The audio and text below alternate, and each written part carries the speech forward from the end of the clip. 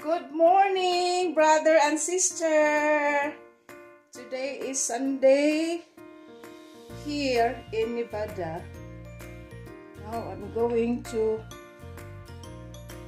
downstairs. Abby is there. Say good oh, morning. Good oh, morning. Where are you? Good Morning. Everyone. To everyone. Okay. Going to the kitchen.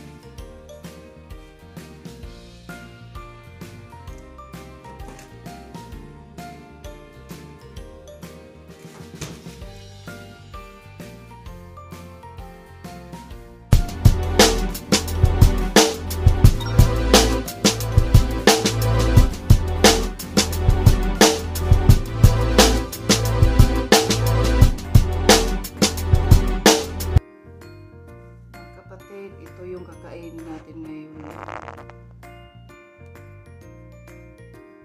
Croissant. With chicken.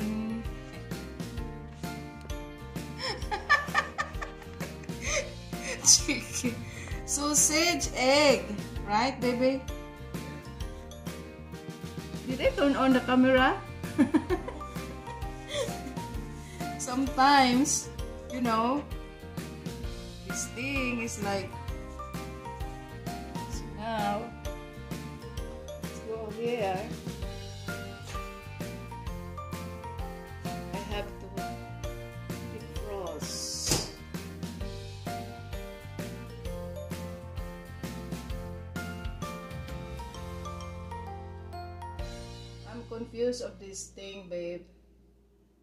It says 90 second. So, okay. Timer. I don't know how to do this now. Repeat. 90. What? Okay, do I have to press defrost?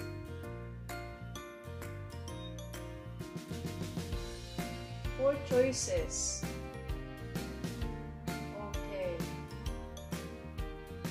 in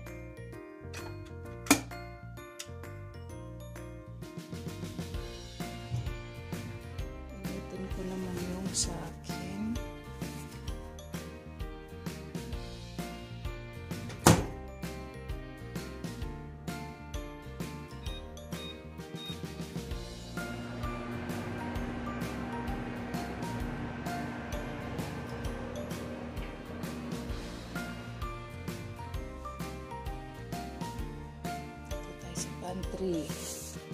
Kuha ako ng coffee na piniprepare ng asawa ko. Ito yun. Lagi niyang ginagawa.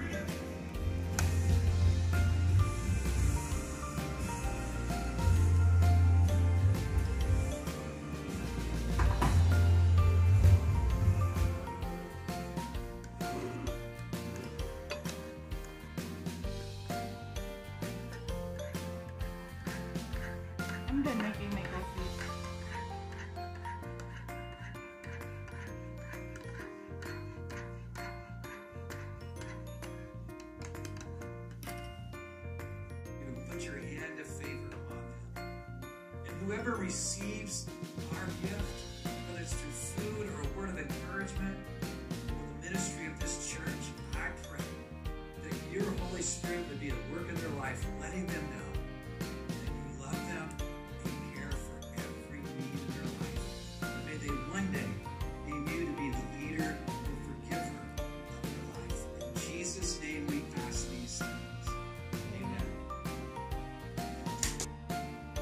Hello mga kapatid, katapos lang namin nanood ng service sa online. You know, um, hindi kami pumupunta na ng church sa labas ngayon kasi hindi nga sa pandemic. Ito siya. Say hi, baby. Hey. Hindi pa po kasi siya ready na humarap lagi sa camera. So, bigyan na lang natin yung privacy sa kanya. Babalikan ko kayo. Magligpit ng kinainan.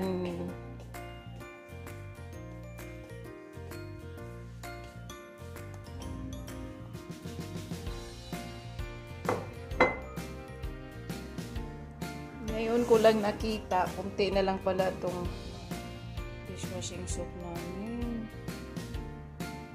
Oh, mayroon kami para sa machine, pero para dito sa may ano namin ito. Nilalagyan ko doon ng sabon dito.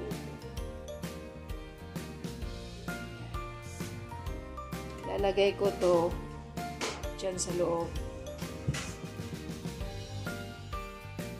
Ilagay ko tong sabon dito.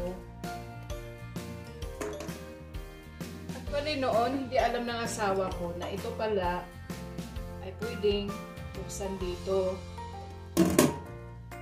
Natawa ko noon sa kanya kasi pumunta pa siya doon sa ilalim at napahirapan pa yung sarili niya. Doon siya dumukot sa loob. Tapos, binuksan ko, nagulat siya. Sabi niya, paano ka daw nalaman na dito daw bukasan?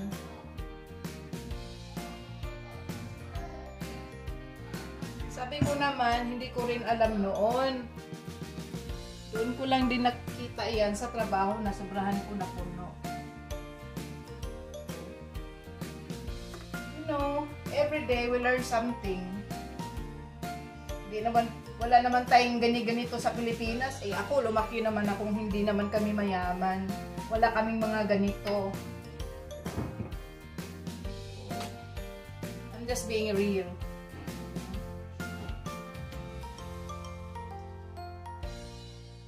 Kayong kausap ng asawa ko? Ang lakas ng boses, parang tuwang-tuwa. Siguro kapatid niya.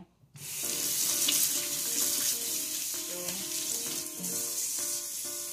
yun na. Maraming sabon dito ngayon.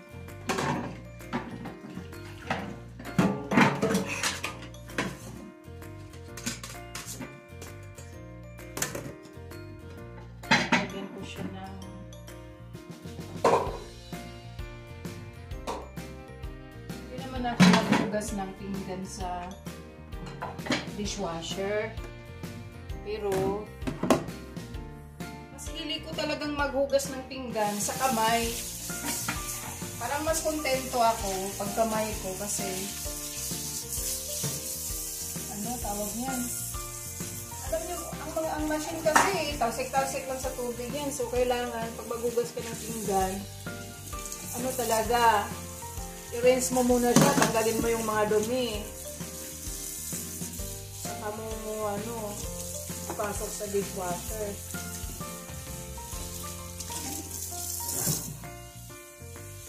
Kasi di naman, ang resulta, hindi siya matanggal. Ang mga dumi, hanggang mag-dry na lang siya. Yun, dumikit pa pala doon yung mga dumi. Balikan ko kayo, mga kapatid. Hello guys. Want to show to all of you what I'm using during this time of pandemic to boost my immune system. And especially when I still have the virus in my body, you know, I got the virus the past. So, ipa- ipapakita ko lang po sa inyo kung ano yung mga iniinom ko hindi naman siya nagpapagaling pero malalabanan mo yung nararamdaman mo sa katawan mo. Ito. Rice cooker.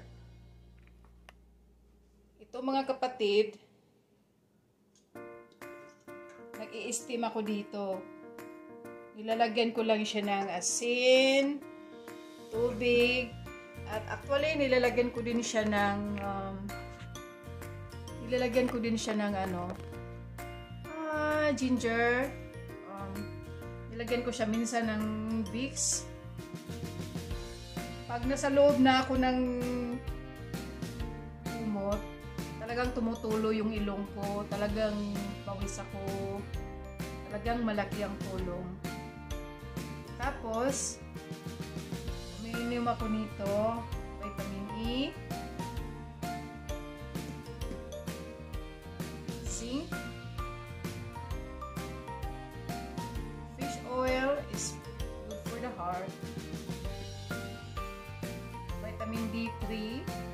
cholesterol something else.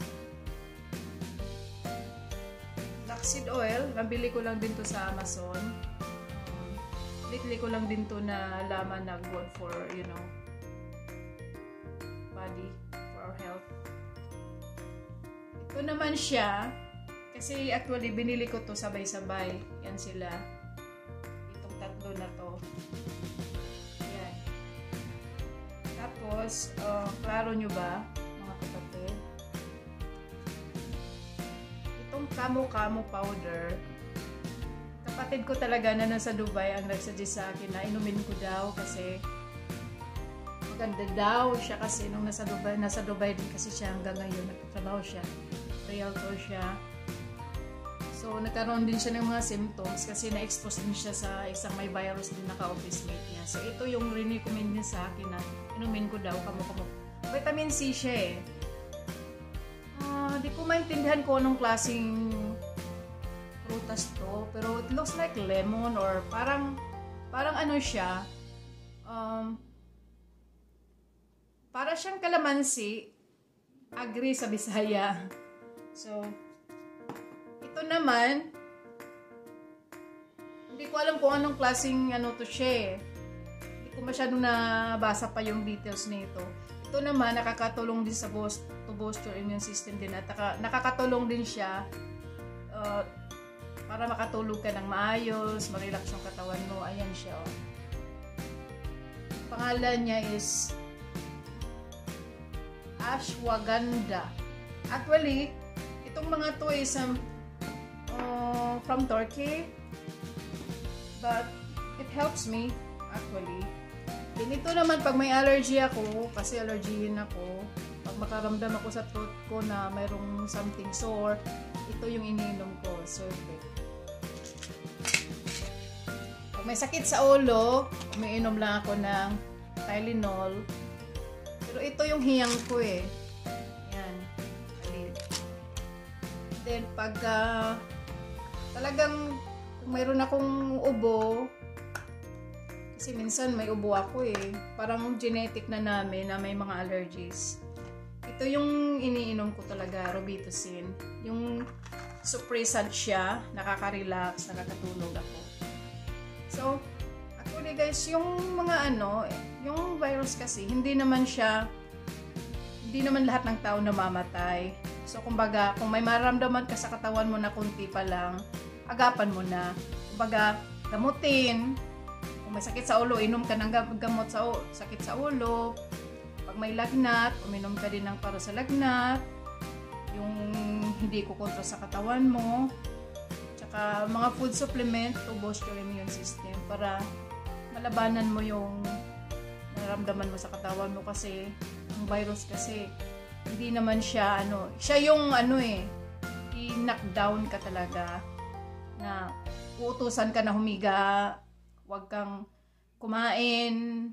Pero ako kasi nung nagka-virus ako, wala akong symptoms, wala akong ganyan katulad ng iba na sa awa ng Diyos.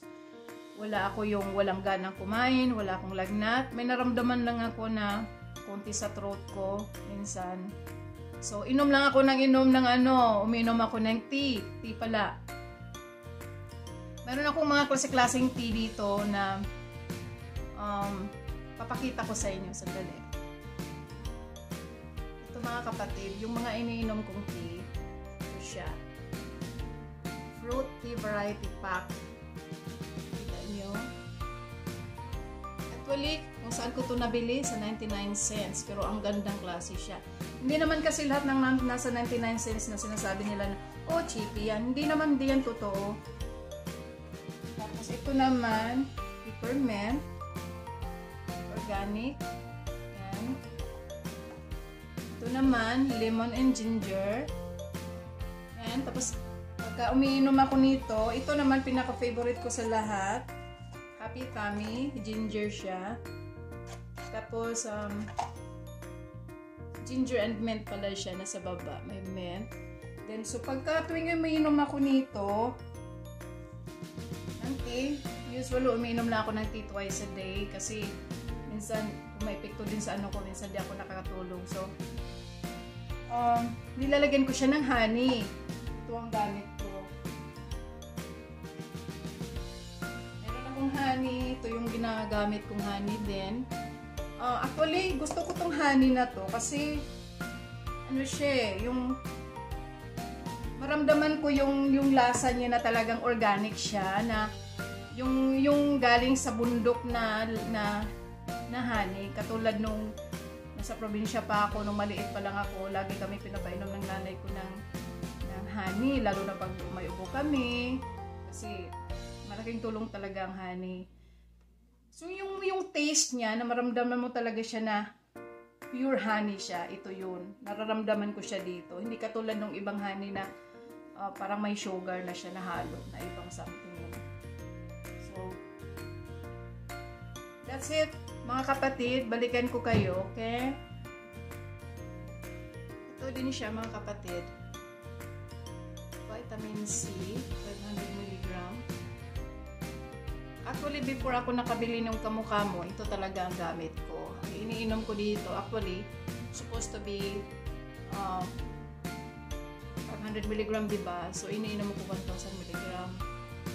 Pero sinasuggest ng nurse namin sa work pwede gawin daw 2,000 mg.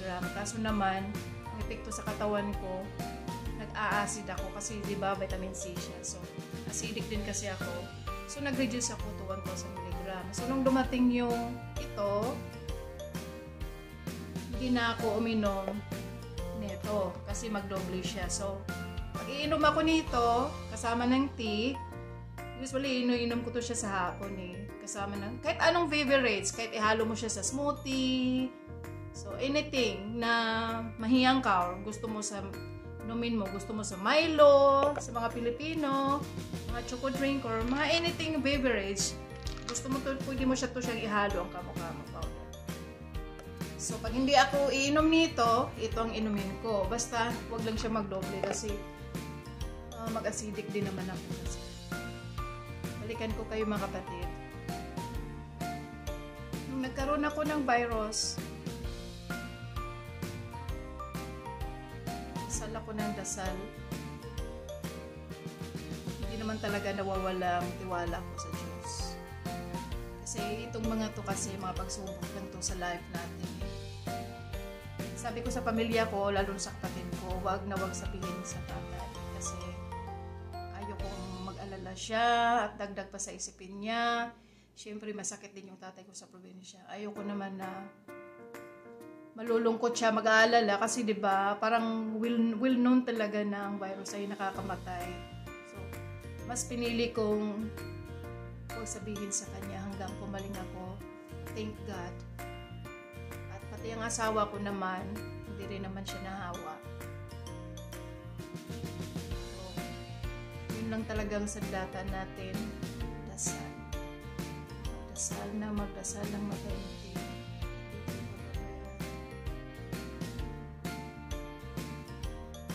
na mga kapatid, nalinis ko na. Ito palang mga to, hindi dito yung mga nakaredy ko ng inumin. You know, sa daily ano ko. Yan, mayroon siyang day. Nandyan na lahat-lahat, except dito sa powder na to, yung mga powder, nakabukod siya. So, nasa harapan ko lang yan. So, sa araw-araw, hindi ko makakalimutan siya kasi nandiyan lang siya. Tapos, meron din kami ditong hand sanitizer. Yan.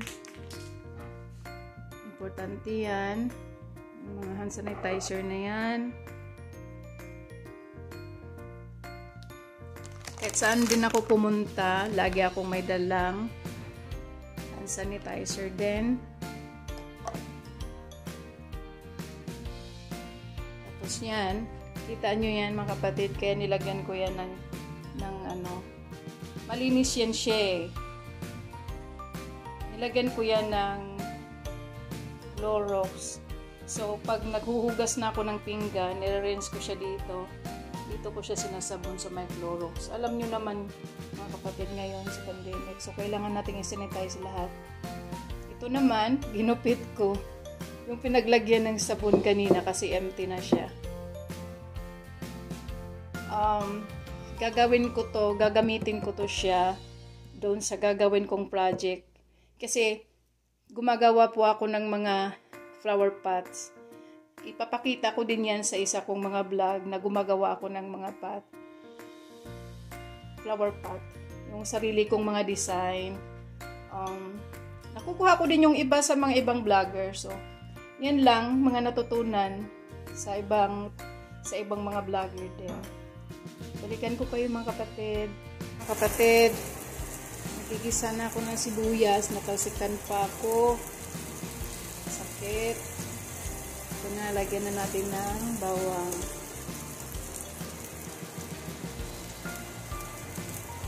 Gusto ko maraming bawang. Pati si Habi gusto niya maraming bawang.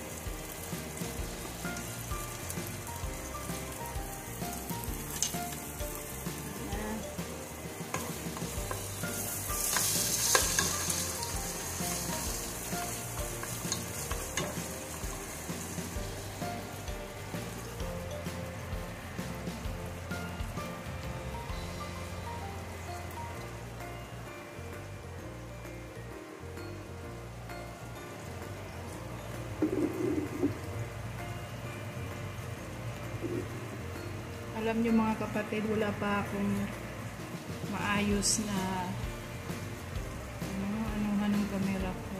Ito kasing gamit ko ngayon medyo hindi na siya masyadong ayos. Mabilis na siyang tumba kaya kailangan kong bumili ng bagong camera stand. Para maayos naman yung vlogging natin. natin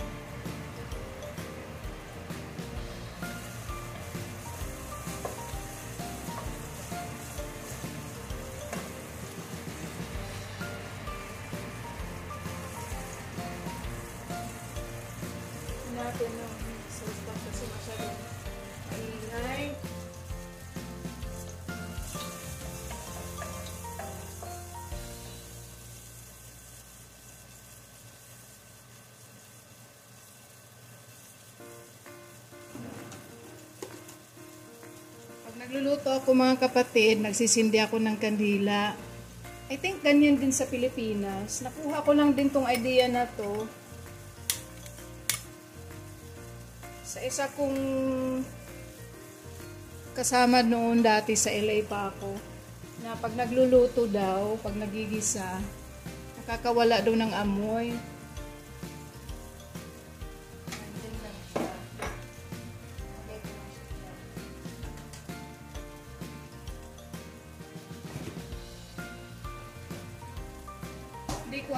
Paano i-explain pero yun ang alam ko at I think totoo din kasi hindi masyadong maamoy yung bahay. Usually pag nagigisa talaga ako, hindi ako masyado dito sa loob pero minsan kasi nakatatamad sa labas eh.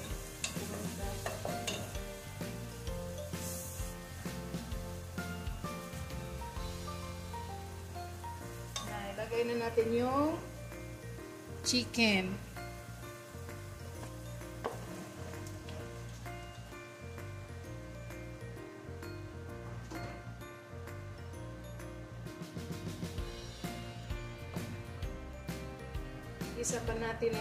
Ang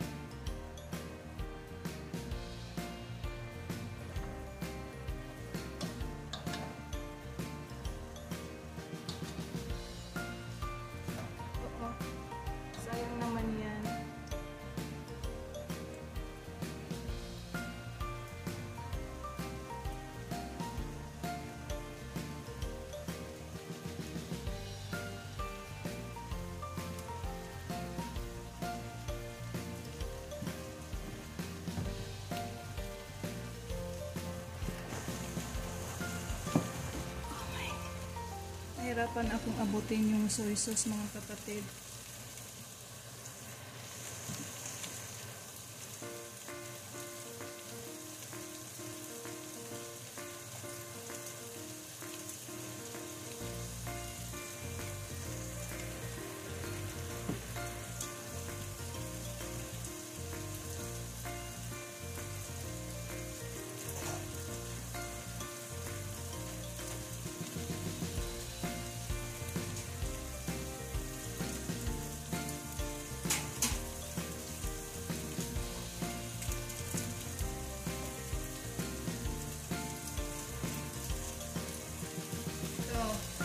Magamit ako nito pero hindi masyadong madami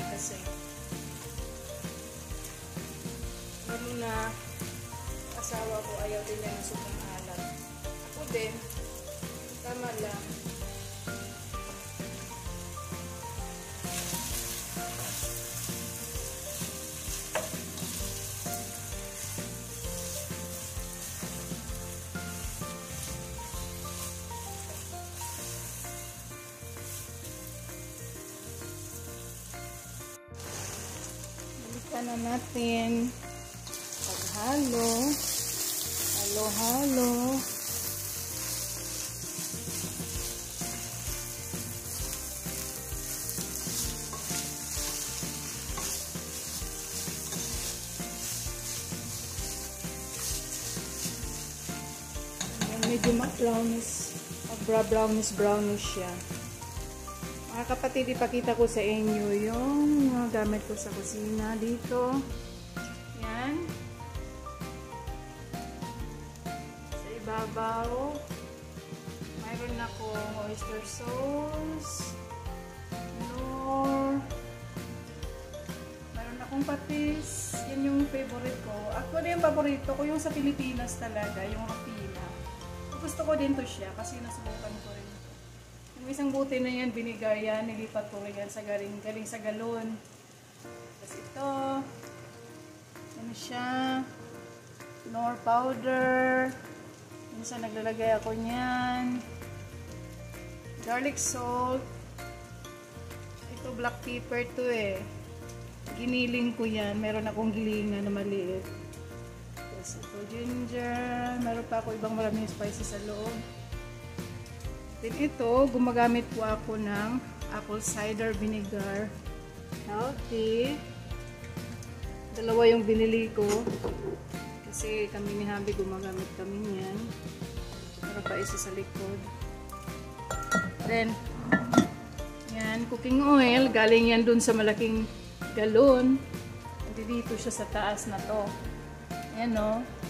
Yan. Kasi mahirap yung buhatin ko ng buhatin. Tapos ito naman, cooking oil ng isda.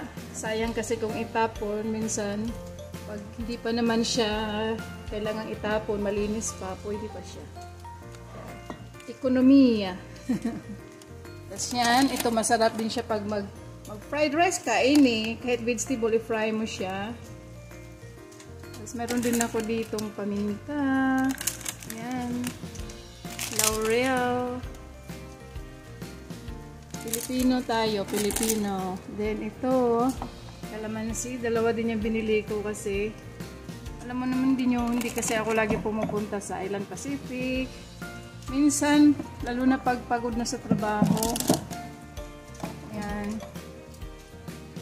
Tapos yan, olive oil gamit namin. Wala na pala kaming stock. Lagyan na natin ng vegetable mga kapatid. Yan.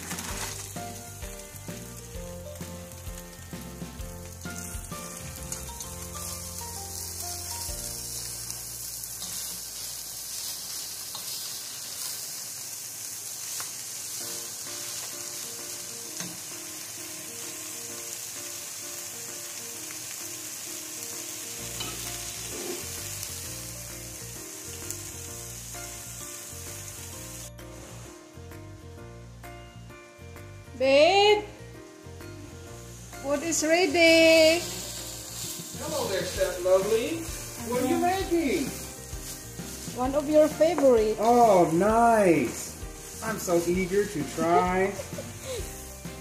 Yeah, I just try to put this. Um, usually, I don't put vegetable, right? That's great. But now, this Okay. time, I put that carrots and peas. All right. Here's a plate. Fill me up. Okay, Doki. Do you want some rice or little Yes, bit? Yes, please.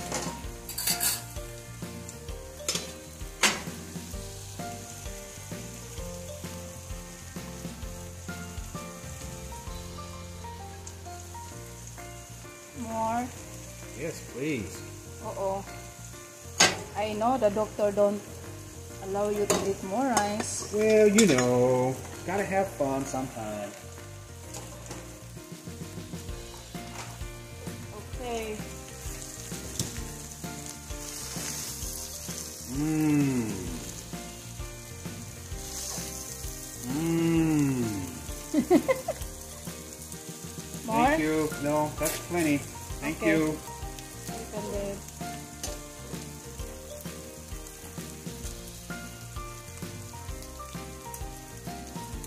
He's going upstairs to eat.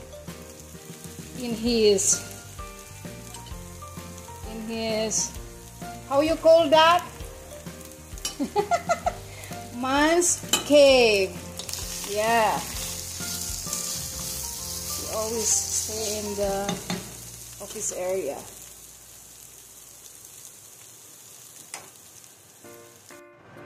Kapatid, my husband is not ready yet to, you know, face in front of the camera and eat together.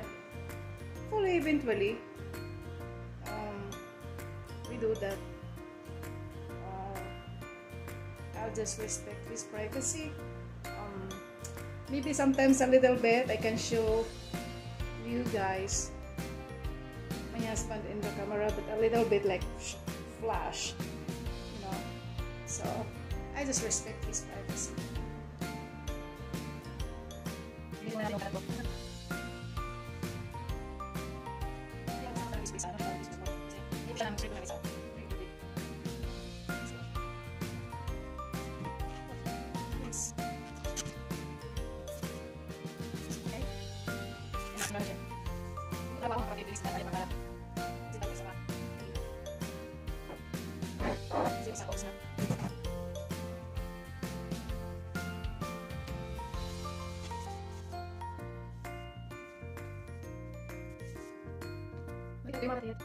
Basta ang mga advice ko lang sa mga tao sa ating lahat, mga kapatid, huwag tayo magpatalo kay virus.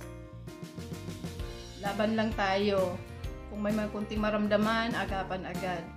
Tsaka kailangan kayo palaging malinis, maligo, at yung mainit na tubig, inom ng maligamgam na tubig. Huwag naman kayong uminom ng sobrang init na mapasok naman yung lalamunan. Yung tama lang na kaya ng, inumin. Okay? So, yan ang experience ko talaga sa pandemic na to. Sa trabaho ko kasi frontliner ako. So, kaya natin to lahat. Basta lang tayo uh, hindi tayo pababayaan ng Panginoon. That's it for today, mga kapatid. Um, baguhan lang po kasi ako dito sa YouTube. So, hindi ko pa po masyadong alam kung paano yung mga pasikot-sikot ng YouTube. So, magiging vlogger. Ah, kung sino man pong may gusto magpa-shoutout dyan, magsha-shoutout po ako para sa inyo. Mahal ko po kayo. Salamat po sa suporta. Huwag niyo pong kalimutan mag-hit ng like at mag-subscribe sa channel. Salamat po. God bless. Love you guys. Mm.